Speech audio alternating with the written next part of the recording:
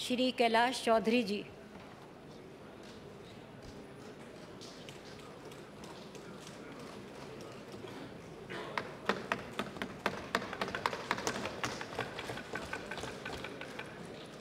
मैं कैलाश चौधरी, जो लोकसभा का सदस्य निर्वाचित हुआ हूँ, ईश्वर की शपथ लेता हूँ कि मैं विधि द्वारा स्थापित भारत के संविधान के प्रति सच्ची श्रद्धा और निष्ठा रखूँगा।